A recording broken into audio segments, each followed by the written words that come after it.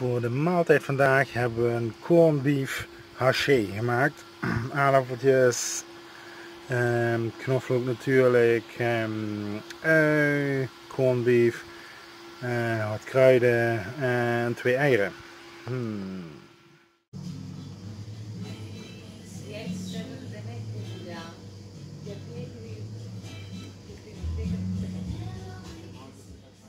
Onze dagelijkse routine bestaat op het moment dat je het uh, s morgens vroeg en zwemmen samen.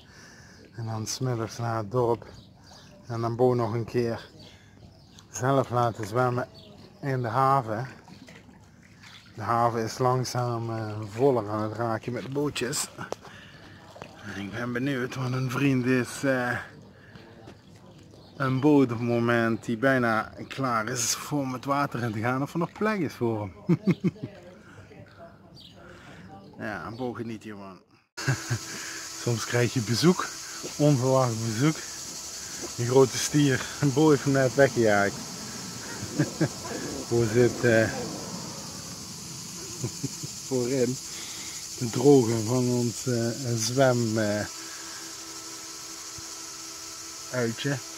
En ik kwam net aanwandelen en zij begon te blaffen.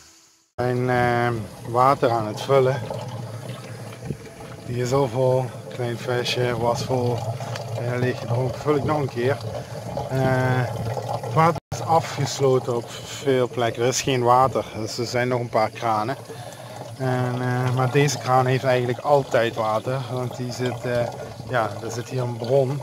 En dit is eigenlijk ja, het tempo wat er hier uit de grond komt. En het stroomt hier ook de zee in. Dus uh, ja, als het water afgesloten is, kun je hier eigenlijk altijd water krijgen. Het water is niet afgesloten, een afgesloten, dus waarschijnlijk ergens een probleem. Dus, uh, maar hier is altijd water. Het duurt alleen uh, heel lang, want ja, goed, het gaat met de snelheid waarmee het hier uit de grond komt. Dus. Maar we hebben in ieder geval water. Maandag, wasdag zeggen ze nog in Nederland. Ben nog niet klaar. Ik wil nog één wasje draaien. Ik heb nog een beetje plaats op de waslijn.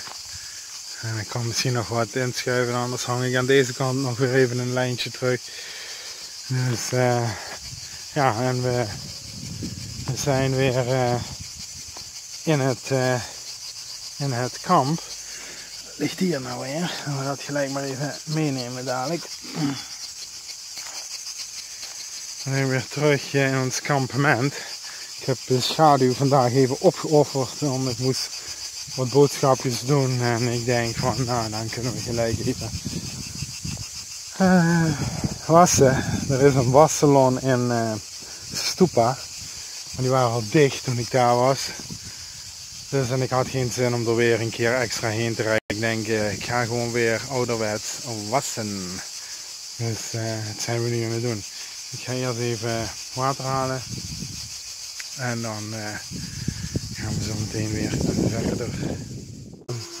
En aanwezig zijn in kamp hebben we de cooking station weer uh, tot onze beschikking. En uh, hebben we onszelf een heerlijke pasta gemaakt. Met ui, paprika, kappertjes, knoflook natuurlijk, octopus, uh, citroen, pepertjes en um, tomaten en dergelijke.